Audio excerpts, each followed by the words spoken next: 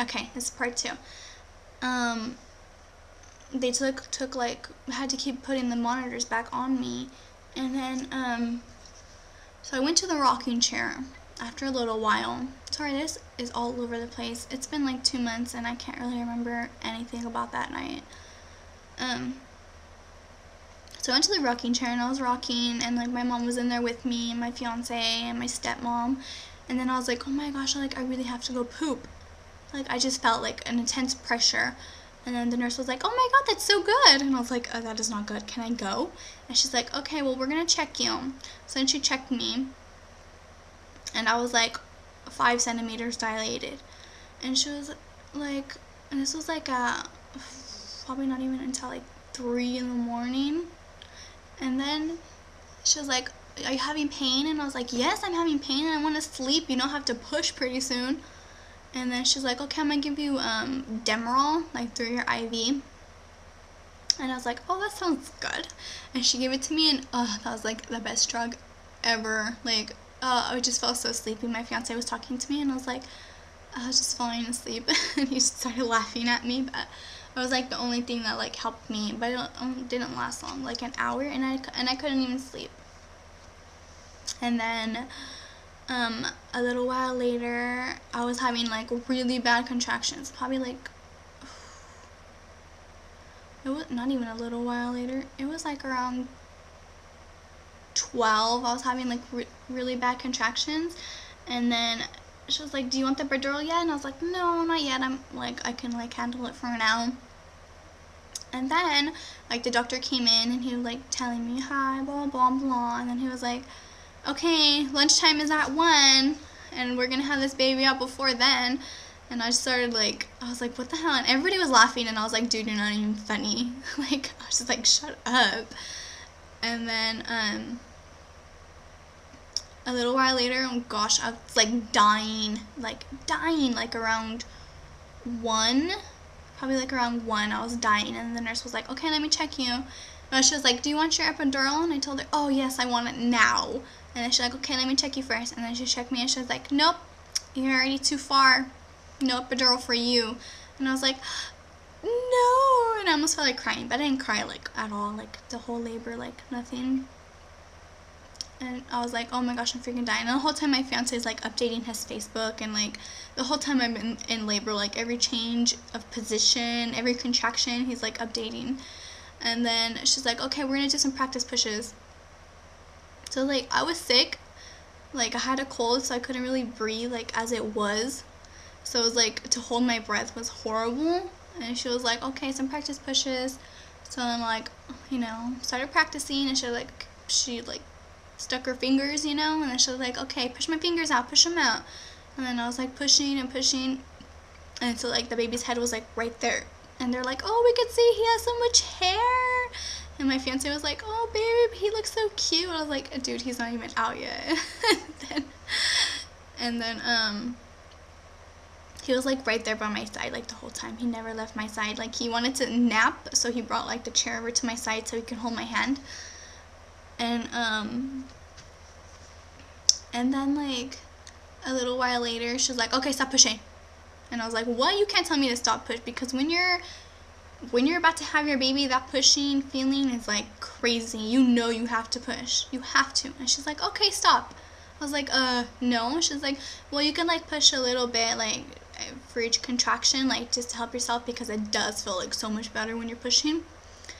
And then she was like okay, well, um, you could push a little bit, but they can't help you out. And I was like, okay, whatever, that's fine. Oh my gosh, my laptop's almost dying.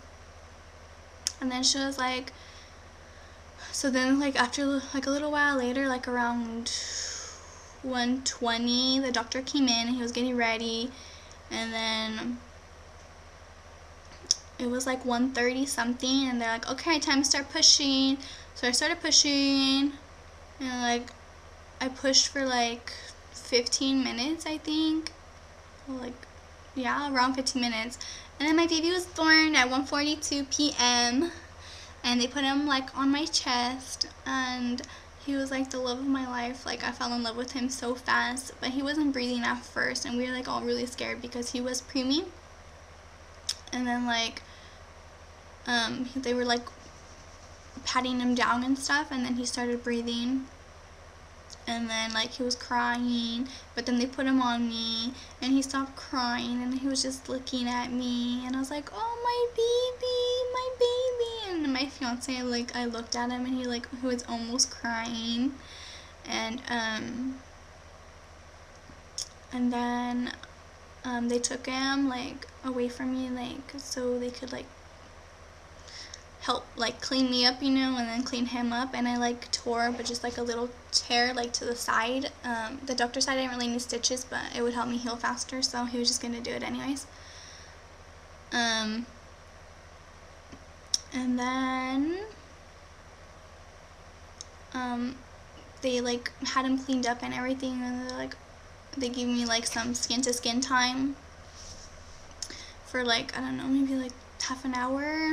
And then they took him like under the, the like the warming light because his um what you call it?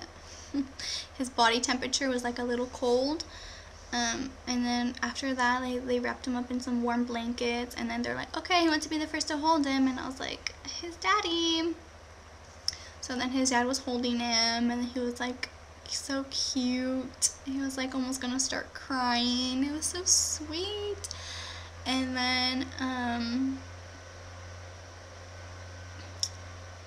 like I don't know and then we just like chilled the rest of the night and they, I finally got food because I hadn't eaten since like early in the morning on the 17th and it was already like in the afternoon on the 18th and I was freaking starving and they wouldn't give me food because they said I was gonna throw up they gave me like freaking jello and I was like that's not food.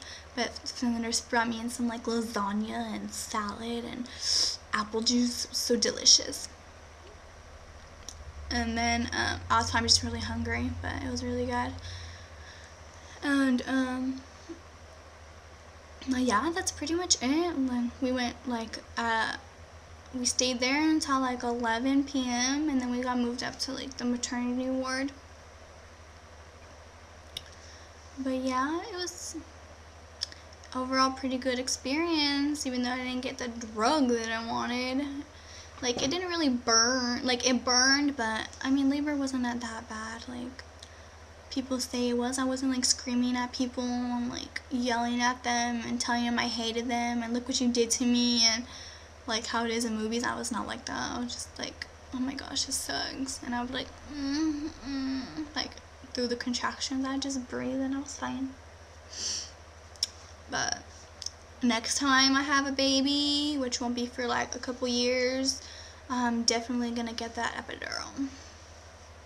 Okay guys, thank you for watching. If you have more questions, let me know. I'm gonna do like a breastfeeding quick video right now in a little while. Um, if my little man doesn't wake up Okay guys, thank you for watching. Bye.